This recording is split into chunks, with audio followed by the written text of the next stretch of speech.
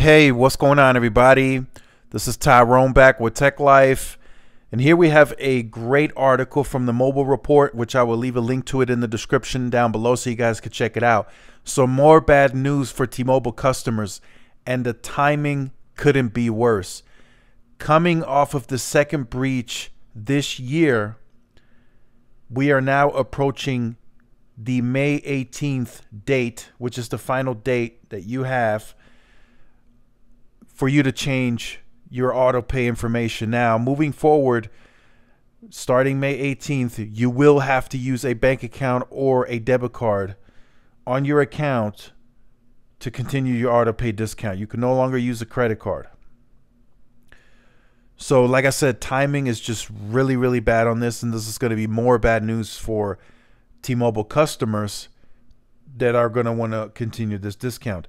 If by chance the, the T-Mobile customer does not want to continue the discount and they don't want to add a debit or bank account because of the recent breaches and not feeling safe, you're just simply going to pay a higher bill.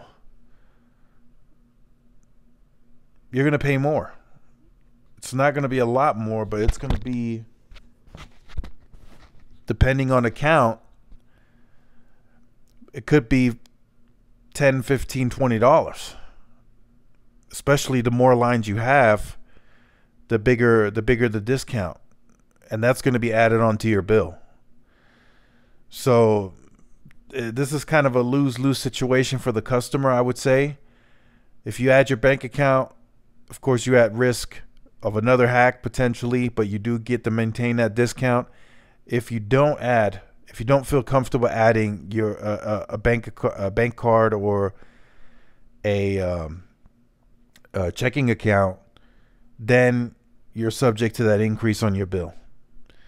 So I will leave a link to this in the description down below. There is a 30 day grace period. So keep that in mind. Starting May 18th, you will start getting notified via text, probably email.